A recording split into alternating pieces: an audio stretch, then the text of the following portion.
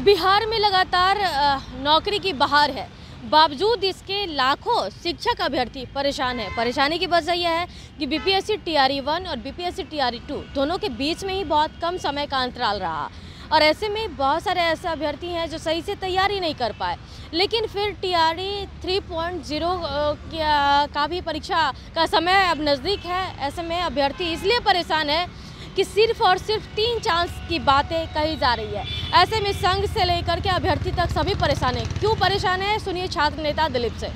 नमस्कार दोस्तों, मैं दिलीप कुमार। दोस्तों बीपीएससी टीआरई यानी शिक्षक भर्ती में तीन चांस देने की बात सातवें चरण की नियमावली में कही गई थी, जिसे शिक्षा विभाग ने जारी किया था। लेकिन अभी तक यह स्पष्ट नहीं किया गया है कि इस तीन चांस की गिनती किस प्रकार होगी।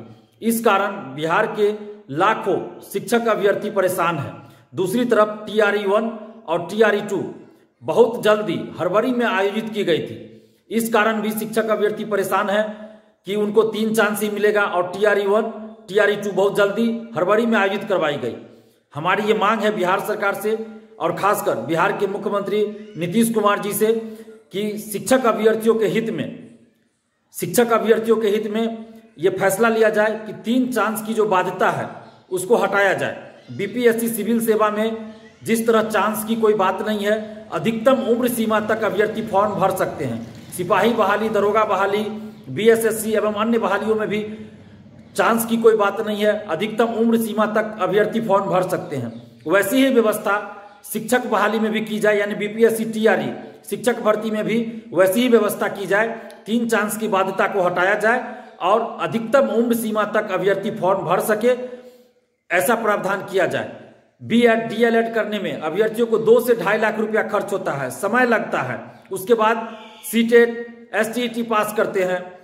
और उसके बाद अगर उनको सिर्फ़ तीन चांस मिलेगा तो यह एक तरह से शिक्षक अभ्यर्थियों के साथ अन्याय है, क्योंकि कोई बी एड करता है, कोई डीएलएड करता है या सी टेट एस टी पास करते हैं तो वो शिक्षक बनने के लिए ये सब करते हैं। ज़ाहिर सी बात है, दरोगा सिपाही या फिर सिविल सेवा या अन्य परीक्षा के लिए तो ये सब कोर्स किया नहीं जाता है। ये जो B Ed D El Ed या फिर उसके बाद आपको S T T C TET ये सब तो सभी अभ्यर्थी इसलिए पास करते हैं, शिक्षक अभ्यर्थी, क्योंकि उनको शिक्षक ही बनना होता है। तो ये सब कोर्स करके दरोगा सिपाही या सिविल सेवा की भर्ती में तो नहीं जाने के लिए सब कोर्स किया जाता है। तो उनका लक्ष्य होता है शिक्षक बनना। और ऐसी परिस्थिति में सिर्फ़ तीन चांस की बात कही गई तो ये बिहार के लाखों शिक्षक अभ्यर्थियों के साथ एक तरह से अन्याय है।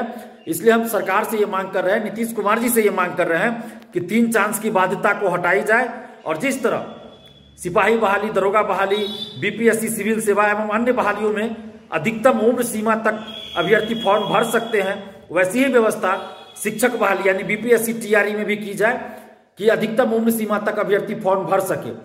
अगर ऐसा नहीं होता है तो फिर बिहार के लाखों शिक्षक अभ्यर्थियों के साथ यह अन्याय हो जाएगा, क्योंकि पहले हर साल शिक्षक बहाली नहीं आती थी, हर साल एसटीटी नहीं आता था।